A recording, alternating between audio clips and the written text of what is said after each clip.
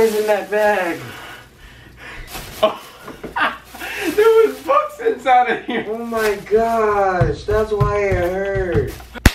What is up YouTube? This is Jolo2TV back again with another video and yet another haul slash unboxing video. Now what do we have today? Today we have Rue 21 and a little bit of Goodwill. Now again we are in Atlanta, Georgia and we got a new area to shop at. Oh god, that took a lot of energy. Alright, so what we're gonna do is we're gonna crack right into the Goodwill stuff. I only got a little bit of things, but definitely worth it. Alright, so the first thing that I picked up from Goodwill is the Walking Dead t-shirt. It has the Walking Dead on the front of it. On the back, keep calm and call Daryl. Now, what are the odds of me finding this shirt in Atlanta? Anyways, let's get cracking on the next thing. The next shirt that I found at Goodwill was a pretty nice shirt. This shirt looks brand new. Um, I have no clue about this brand. It's called Permanent Vacation, a deep fried family established in 2010. Anyways, I like this shirt because it was like one of those 3M reflective things. So when you put a, a flash on it, um, it turns into white. But you can see it says established with all those flags and then 2010.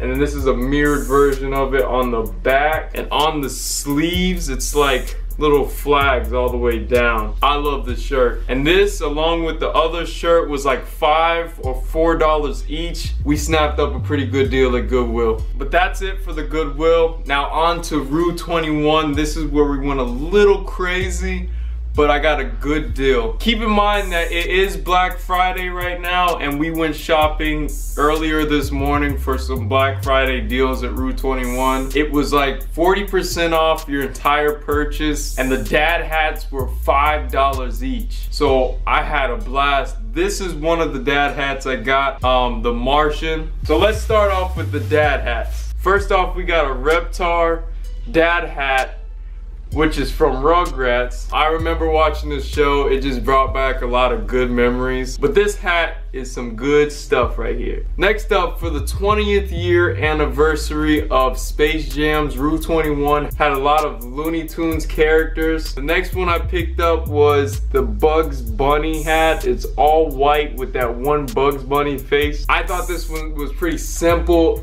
but yet still fashionable. So I went ahead and picked this one up again for $5. This one is the funniest and I just, I don't know, I just wanted to get it and if you know what it is, it resembles you know who.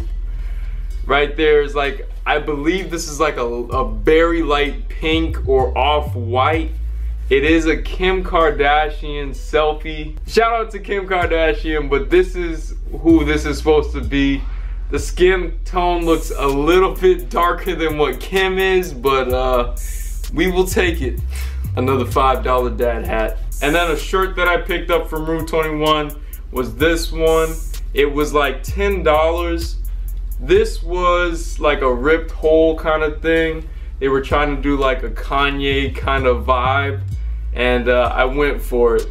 I was like, I gotta support my fake Kanye, man. This has a nice little hood up at the top. This hood is for like Florida when it's hot outside all day. And then next moment, nice and cool. Next up, the reason why I bought this jacket was because I am in the ATL and I decided why not. It says, I got broads in Atlanta just like the I Feel Like Pablo merchandise that he was selling earlier this year. I just, again, this is just an exact replica of what the Kanye West I Feel Like Pablo jackets look like.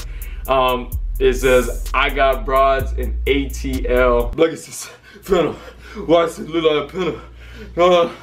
Uh, uh, this one was probably one of my favorite pickups. I got it just because of the I feel like Pablo vibes, but I like this. All right, and last but not least, we got the Desiigner shirt from Rue 21. Of course, we have the Desiigner face on one half and a panda on the other side. But I saw this shirt and I was like, dang, I swear I saw this on his website. And I believe this is where they also got it from was his shop online. It says Desiigner inside of there. So I think this is some authentic wear. I'm not too sure. Double check me on that. If not, I'm still gonna wear it anyways. But yeah, guys, that's what I picked up this week. I got a nice haul for you guys, the most I've ever done before. I just went shopping. I saw some stuff over here in Atlanta and I had to go for it.